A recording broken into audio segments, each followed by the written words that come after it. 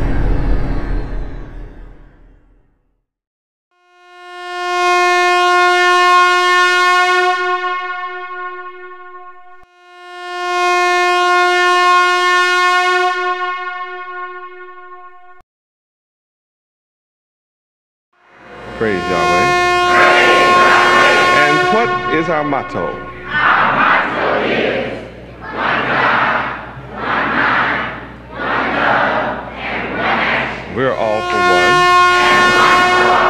And we want for our brothers and sisters. What we want for ourselves. What about soup? If I have no soup, you may have half of my soup. And anything else? Anything else? Praise Yahweh. You may be seated. Welcome to international headquarters for the nation of Yahweh. The nation of Israel, the tribe of Judah, for the children of Abraham, Isaac, and Jacob. Welcome. Where we learn the value of the law, statutes, judgments, and commandments of Yahweh our rewards from keeping the laws, our rewards from breaking the laws are taught here. Those of us that keep the laws are an example to the world in infinite number of ways. How gracious, how wonderful, how compassionate, how loving, Yahweh is to those who are obedient to his will. It is here we also learn how Yahweh keeps his word in punishing the rebel, the stubborn and rebellious son. And anyone who is conscious of what's going on in the world today, that's in love with Yahweh is in a hurry for Yahweh to manifest all of his power and bring in this scenario that we're enduring, enduring in the hells of North America where every evil and hateful bird resides, coming to a close and an end. The only ones who want to see this world continue as it is are those who love this world. And this world is ruled by the wicked ones to such an extent that heaven is ruled by the violent ones. So we're going right into rebel so that all of us that love Yahweh will take this in. This message is not intended for the rebel. Though the rebel hear this message. The message serves as a warning to the rebel, but it's not intended for the rebel. It's intended for those who love Yahweh and who are not only warned, and accepts the warning in not being a rebel, but also the good ones to whom this message is intended will study what a rebel is and make sure that any of these characteristics found within will be expunged, will be repulsed, will be eradicated from their character, uh, will go jump in the fire of purification themselves and turn the heat up full blast to make sure that all the filth and dirt of the character will rise to the top, leaving them pure, refined gold and silver. The righteous will do that on their own. And that's the purpose of this message. All the laws, statutes, judgments, and commandments of Yahweh are for the righteous. So that the righteous will know how to live. And the righteous choose to live the commands of Yahweh. The righteous are never upset about the law, they are happy about the law.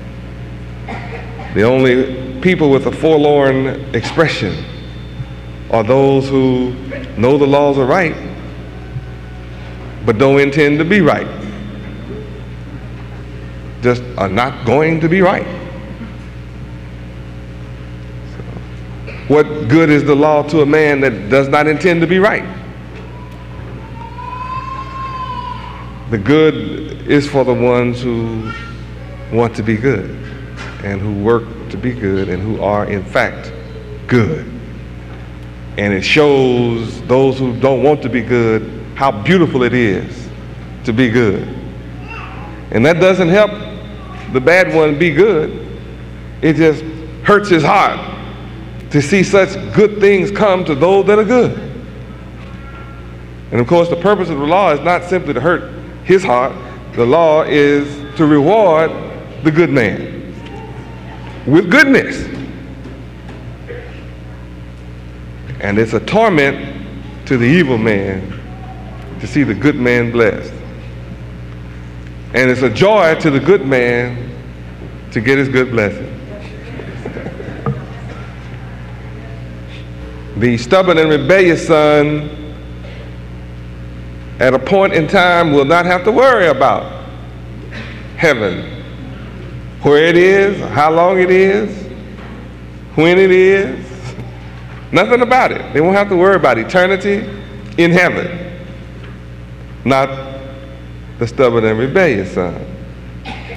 Because he's going to enjoy a reward that carries great torment forever.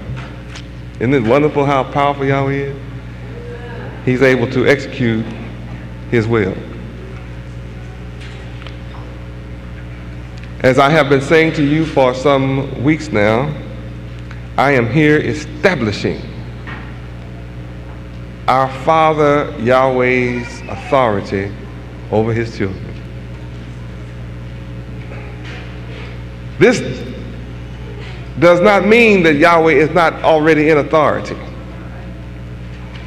For Yahweh is in an authority over all things.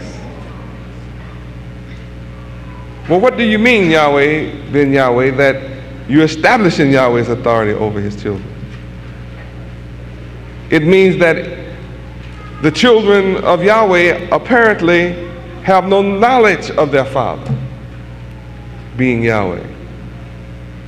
So, how can they obey the authority of their father without coming into the knowledge of their father? So, the children of Yahweh, having been lost from the knowledge of their father, have to have their knowledge restored to them about their father in order to obey his authority. And all of us here know the reward of not being under the authority of Yahweh as our Father. 434 years of hell in North America is proof enough for me. And it's proof enough for all who are the children of Yahweh. It's just proof enough. You don't need anything else but just the history of our slavery and suffering and death and misery in America. Being the bottom of civilization, living in the richest country on earth, and being the poorest on earth is enough to tell a child of Yahweh, I want out from the bottom. And I'm ready to submit to your authority. But before the children of Yahweh can submit to the authority of their father Yahweh, what happens? You must come into that knowledge. So that's what I'm doing. And I'm letting us take a look at the character that was imposed upon us after, after our fathers turned their backs on the laws of God. It's not that our oppressor, the nation that is presently being used as the rod of correction or the rod of punishment, is so powerful. No, no. Yahweh has used many nations in the past as a rod of punishment and correction when we broke the laws of Yahweh. And the present Gentile white man that enslaved us here in America, nothing more than a rod of Yahweh. Upon the backs of our people for having broken the laws of Yahweh. No marches can change it. You cannot overcome the white man by marching. Your boycotts can't change it. Because if you boycott the white man, you will truly starve to death. That's how much of a curse you are under. Where? Leviticus 26, 14. You can get together and, and go to all the colleges in America and around the earth, among all the people of the earth, black, brown, red, yellow, or white. And when you get through, you will still be in your same mental slave condition that you're in right now. You cannot be educated out of your spiritual and mental slavery that you suffer from outside of Yahweh. You can join all the religions of the earth and be the most devout follower that has ever lived on the planet. And you still will be subservient to the authors of that religion.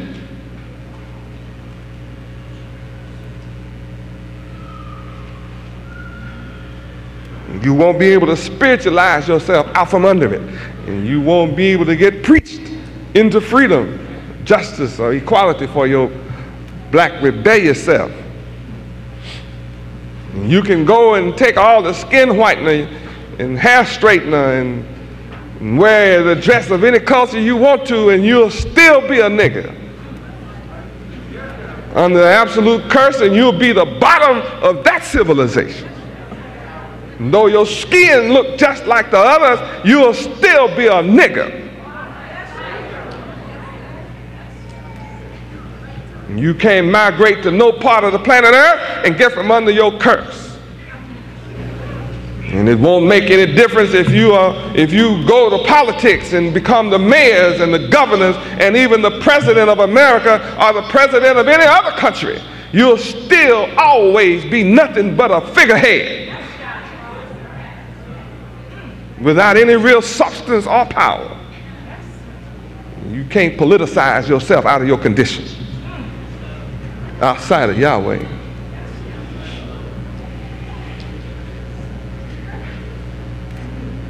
You can't go pick up weapons. You can go get tanks and aircraft and everything else and try to fight, and you end up killing each other. But you won't be free. You will always be under the domination of somebody. You won't be able to fight your way out from under the curse you under outside of Yahweh.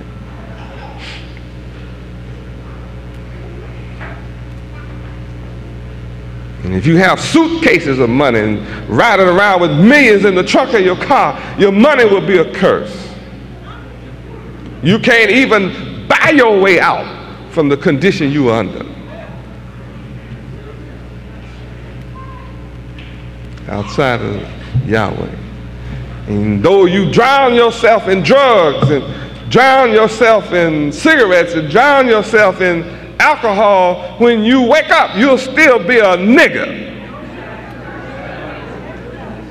You were a nigger before you drank, and when you drink, you were a drunk nigger. And when you wake up, you'll have a you'll be a hangover headed nigger. You won't get from under your misery. I don't care what you drug your ignorant mind with. Can't lessen your torment.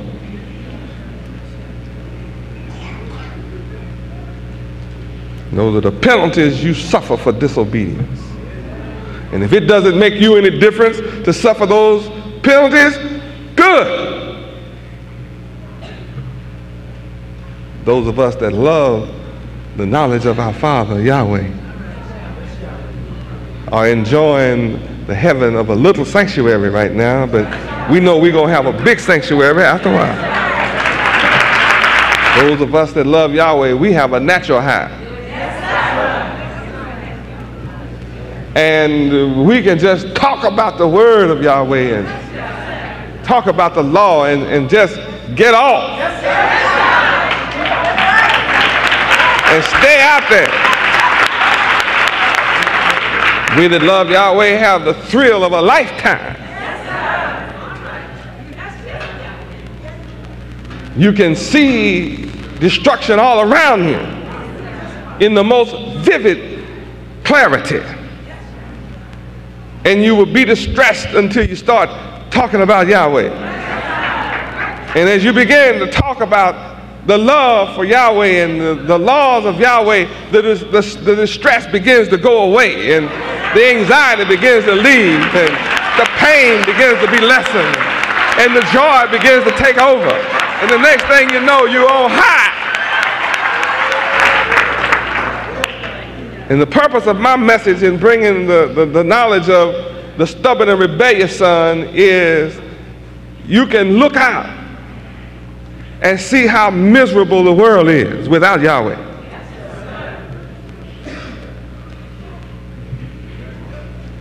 And you can even look out into this room tonight and tomorrow and any other day, past, present, or future, and anyone in this room that's in love with Yahweh, they all have the same type of countenance.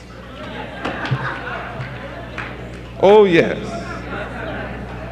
There's, there's just a, a calmness about the ones that's in love with Yahweh. It's just a, there's a certain peace that resides in the countenance and within the being of the person that loves Yahweh. There's just a certain joy that exists in the lives of those that love Yahweh. Praise Yahweh. And, and, and though there's a mixture tonight of the stubborn and rebellious spirit with the obedient spirit, the reason those of us that are obeying the will of Yahweh are rejoicing and we're clapping our hands full of joy is because we're looking past what's in this room into the room where there's nothing but the obedient one. That's why we're joyful tonight. That day is coming. And those that love Yahweh and accept his authority have a different kind of clap from the stubborn and rebellious one. They have a different kind of smile from the stubborn and rebellious one. See, everybody's smiling, but there's two kinds of smiles in here.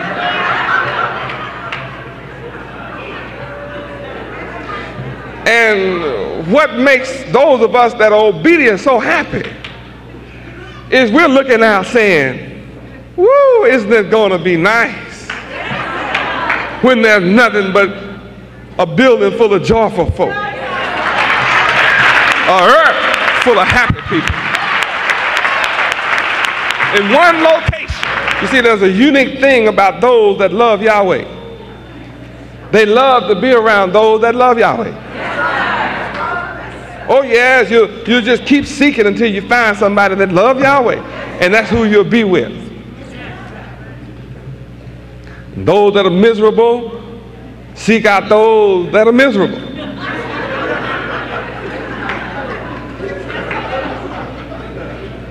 and that's wonderful. The miserable ones, they have misery parties.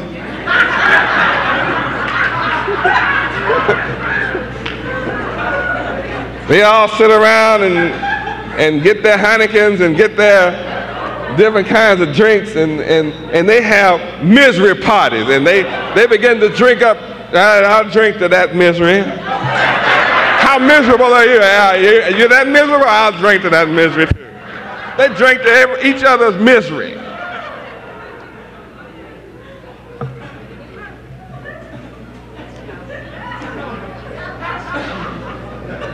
It's beautiful to see the miserable ones get drunk in their misery, fall out in their misery, be an old dumb drunk puking fool. Nothing looks more pitiful than to see a fool drunk in his misery. Have you ever heard an old fool sing a drunk, miserable song? Try to sing. Sometimes they think they can sing.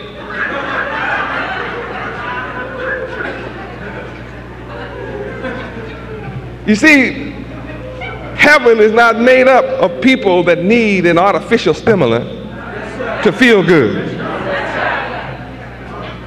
That's right. Yeah. See, when, when somebody needs something outside of Yahweh to make them feel good, then they don't know Yahweh. Oh, yeah, they don't know Yahweh. Might be around, but you don't know Yahweh. See, the stubborn and rebellious son lived in the house with obedient parents. Mm-hmm. Oh, y'all didn't know that? See, the stubborn and rebellious son was around happy people. The stubborn and rebellious son was born into a happy family. Whole family was happy. Everybody was happy but him. Now, you say, well, what's peculiar about it is the reality that the stubborn and rebellious son had no problem eating from the table of his happy family that he was the opposite of. In fact, he tried to eat up all they had. to the extent that he was gluttonous. He set the stage for Yahweh establishing the law kill a glutton See, what does the glutton do? He tries to eat, take away from, ingest for himself all that would keep the family life sustained and in health. He wanted all the health and the wealth of the family for his gluttonous self. He, he didn't want them to have any. He wanted it all for himself. What does food do? Food sustains life. And good food sustains health. And the stubborn and rebellious son didn't want his family that he was born into that was happy and obedient to the laws of Yahweh to have anything. So what is the stubborn? See, the stubborn and rebellious son never left home. That's right. He never became independent.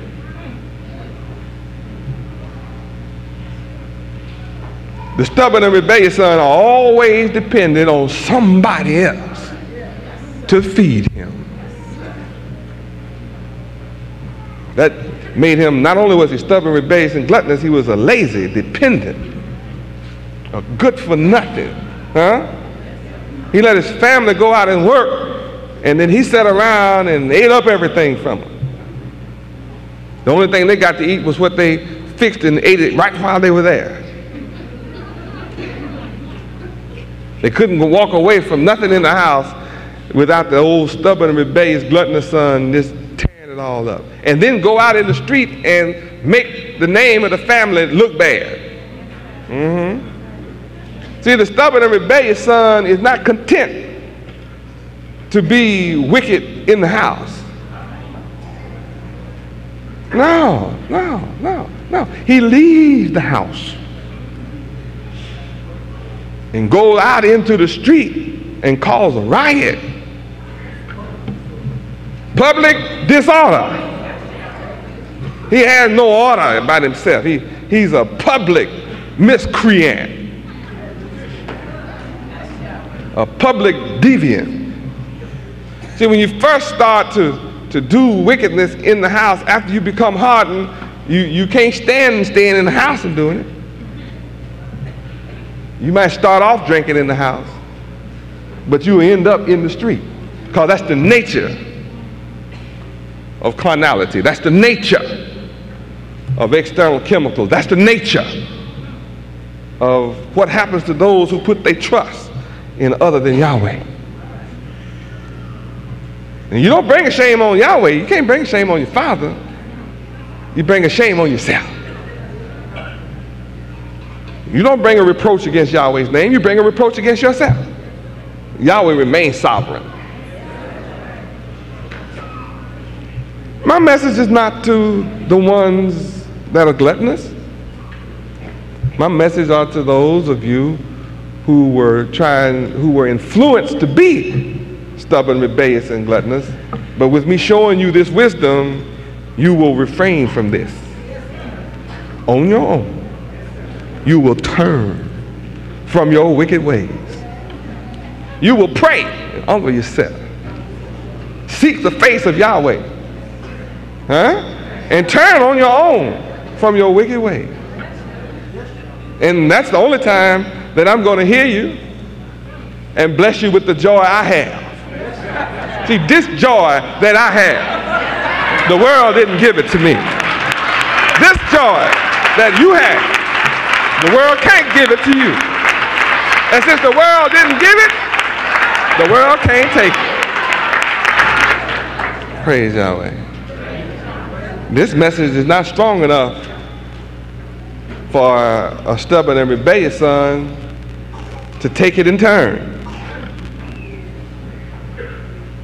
You'll hear it, and at the moment be convicted and feel the pain of the truth, but he will continue being stubborn and rebellious. Only those who incline to righteousness will hear this message in turn. There's two in the field, two on the rooftop, two in the bed. One will hear and turn, though they're both doing the same thing. And one will be left. Can't go with Yahweh because he will not turn from his evil, wicked way.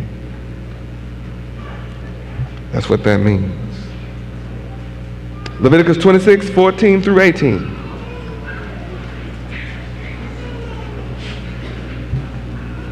You don't want to turn, it's okay. You're going to find out why it's okay.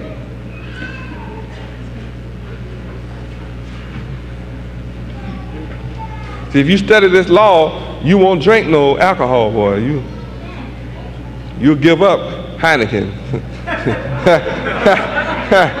yeah. Yeah. Yes, you will. You won't bother, boy. You won't, you won't be trying to play no thing about, well, not against the law for uh, me to drink a little wine. It is, little wine is good for the stomach's sake. See, see, your mind tells you that kind of stuff. And every person that I've known in my life that try to use the word of Yahweh, huh? as an excuse to do their wickedness are gone and they, they lived a horrible, terrible suffering before they left here. This thing that was a little bit for their stomach's sake became their all consuming passion. And the one that did it would turn the wine bottle up laughing at everybody else. And he was in full control. See, the one thing about it, when you don't live for Yahweh, you think you under control. Yeah, yeah, you, you, you have the idea that, oh, I, I can just drink one bottle and lay it down. I don't need to. See, the nature of that is, then you'll start drinking two and say, well, I, that's all I need. I can just drink two and let it hang. No problem. And then next thing you know, you sent back mm, for another six pack, and then, you know, I, I can drink four, and it's all, everything is all right. Everything is cool, man. It's just four. yeah, I can handle it, right? I, I, I, I, I can handle it. See, Yahweh nowhere in that. That's I talking.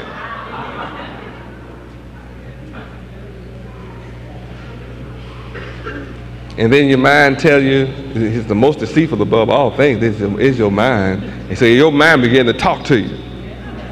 See, see, you cool, you stayed in, don't nobody know, right? Yes, somebody know. Yahweh knows. Your wife and your children know. Huh? Yeah, they see your old fool self. They see you right off the front. And they get to witness you going down the road out of here.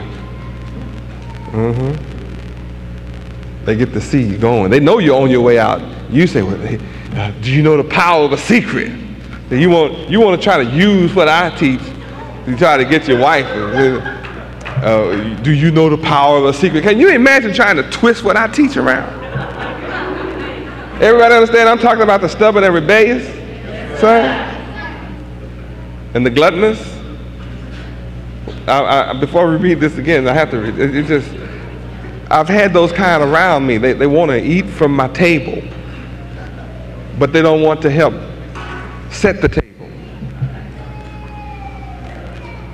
They want to eat from my table, but they don't want to prepare the food that goes on my table. They want to eat from my table, but they don't want to cook, prepare, or serve the table.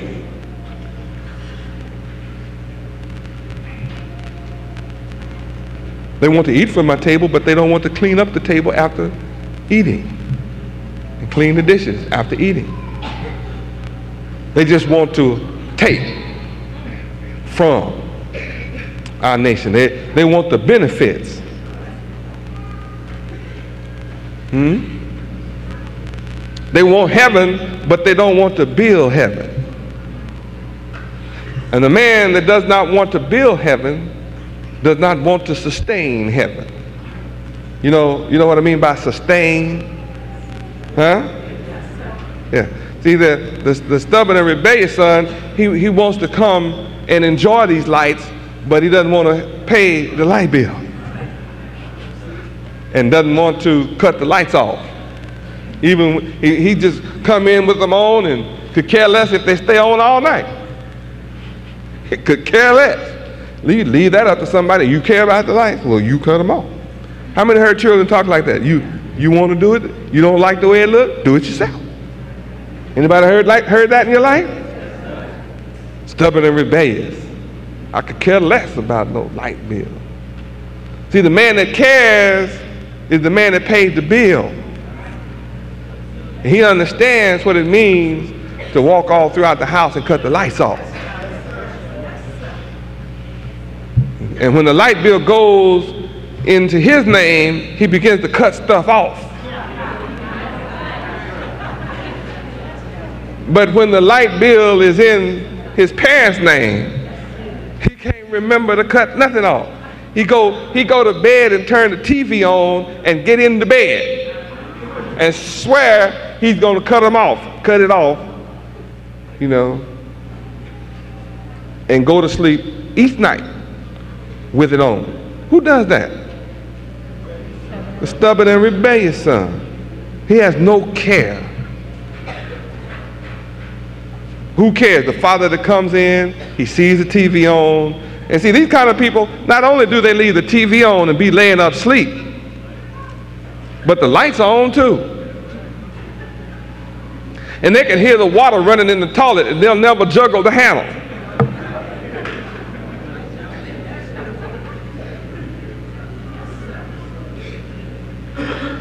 As long as the parents and the father pays the bill. Hmm? The stubborn and rebellious son sees no dirt in the house, sees nothing laying around that needs to be picked up. He never sees that the grass needs to be cut. Huh? You want to have a fight? They had one in this city last year, I think it was, that he killed his brother over cutting the grass. He didn't want to cut it. So the one that asked him to cut, he killed him. Yeah, you cut the grass yourself. Kill it. he's spending some few few days in jail, but you know that's called stubborn and rebellious, isn't it?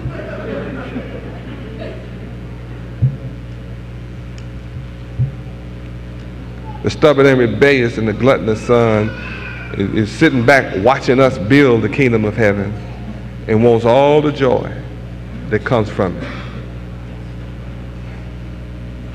And as we move up and become more upscale in our living, due to our sacrifice, huh? The stubborn and rebellious son is right there, usually first in line, making the first request. Usually. And they're the kind that want to skim by. If, you, if you put pressure on him, he never goes beyond what he's forced to do. We'll get up out of bed late. Father's gone to work four hours ago. He'll get up four hours late, go into his mama, and demand breakfast. And holler, Where is my food? You haven't fixed breakfast yet. I'm ready to eat. Y'all never, I've seen niggas like this. See, a nigga couldn't live with me like that. I showed him the door long time ago. See, when your mind went to thinking like that, the door opened.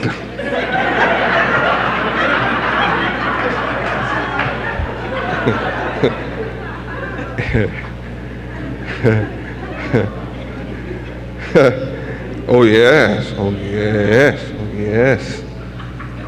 You definitely don't have to go by my rules out there.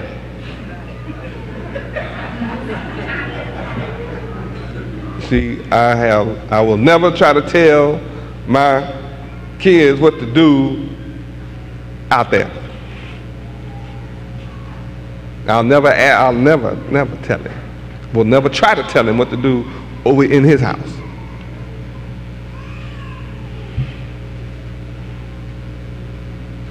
I might ask him, but I won't tell him. In my house, another kind of story. I'm going to tell you what to do. I'm not going to ask you. I'm going to tell you. Oh, you don't like the rules? Glory. See, the door was open the moment you start thinking about going against my rules. I went and opened the door. That's when I opened it. You went, why the door open? See, you got a funny thought in your head. and I see the stubborn and rebellious look on your face. And that, that look, see, I can't stand that look. That look has to leave here. yeah, not, not, not, not after a while. Yeah, yeah, now, now, now, now, now. That's the only way I can be the man in my house is right now. You can't even look at me sassy. A sassy look will get you into serious trouble. So you want to be looking bad, you better claim stomach ache or something right off the top. Look, don't take nothing personal. I got the stomach ache about. Let me know your head is hurting or something right away.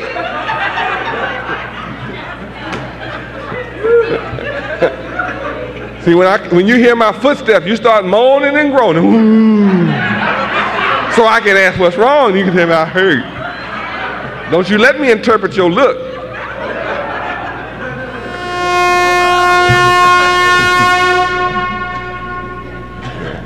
A lot of folk run their house like that. Anybody heard of folk run their house like that? Yeah. Peace in the house always. Peace in those kind of houses. That's where you have peace in the house. Always.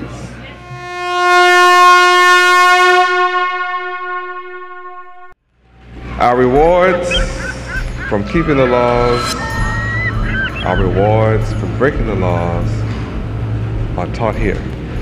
Those of us that keep the laws are an example to the world in infinite number of ways.